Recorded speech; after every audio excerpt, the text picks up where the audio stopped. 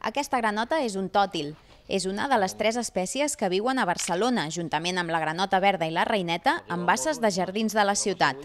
Una gestió acurada d'aquests espais naturals ha convertit Barcelona en tot un refugi per a aquests animals. Aquestes tres espècies a Barcelona estan molt bé, sigui, crien molt.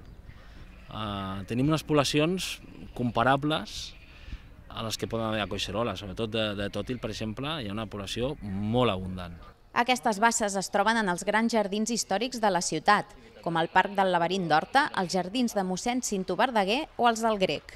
Els jardins històrics tenen una vegetació molt, molt, unes cobertures vegetals molt eh, denses i les basses eh, són unes basses que ja els hi van bé en aquestes espècies per criar. Per tant, són, són llocs que, eh, on els amfibis no és que els hem, posat, ningú els ha posat allà, sinó que han, han, han sobreviscut a la urbanització de la ciutat. Tant és així que Barcelona va col·laborar en un projecte de reforç de la població de tòtil a les reserves naturals del Delta del Llobregat, enviant-hi mil capgrossos és un fet extraordinari, curiós, si voleu, eh, que una ciutat doni una espècie protegida a un parc natural.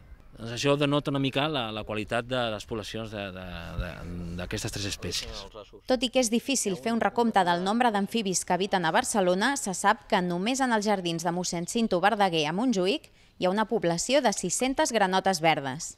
Des de l'Ajuntament es treballa per la conservació dels amfibis, ja que també afavoreixen la vida d'altres espècies, convertint-se així en tot un nucli de biodiversitat. Ara estan sortint molt d'efímeres